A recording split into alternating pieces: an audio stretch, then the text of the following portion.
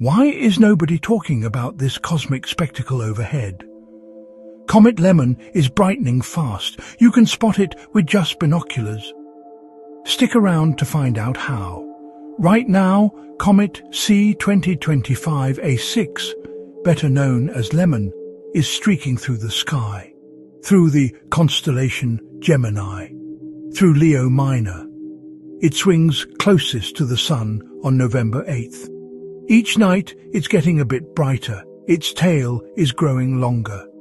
Time-lapse shots reveal the comet's dance across the stars. If you've got binoculars, grab them. Look east after midnight. Use a sky chart to find Gemini.